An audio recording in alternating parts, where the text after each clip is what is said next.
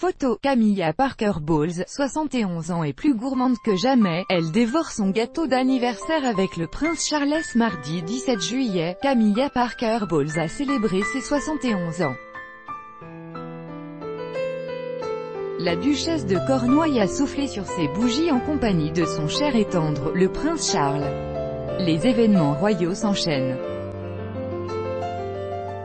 Après la naissance puis le baptême du prince Louis, les 92 ans d'Elisabeth II ou encore le mariage entre Meghan Markle et le prince Harry, dont les sorties officielles en couple se succèdent, c'est au tour de Camilla Parker Bowles d'être la star d'une journée.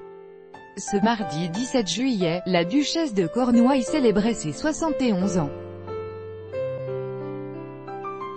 Mais contrairement à celui de la reine d'Angleterre, cet anniversaire était davantage placé sous le signe de la discrétion et de l'intimité.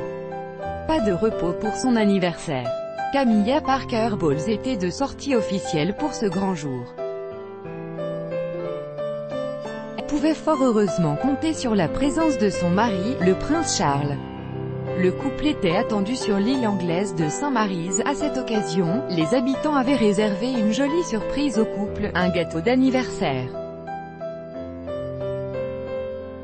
Dans ce qui semble être une petite échoppe, celle qui est désormais âgée de 71 ans a soufflé sur ses bougies, avant de passer à la découpe du gâteau. Et surtout de le dévorer. Camilla Parker Bowles et le prince Charles se sont jetés sur le gâteau, lors de ce moment de complicité. Celui-ci ne devait donc pas être au chocolat, puisque le prince Charles déteste cet aliment, contrairement à sa femme qui en est une grande fan. Le couple a donc préféré célébrer modestement cette nouvelle année, préférant sans doute fêter cela en compagnie de leur jolie famille réunie.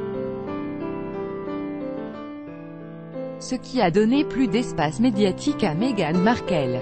Cette dernière a encore été au centre de l'attention lors d'une exposition consacrée à Nelson Mandela.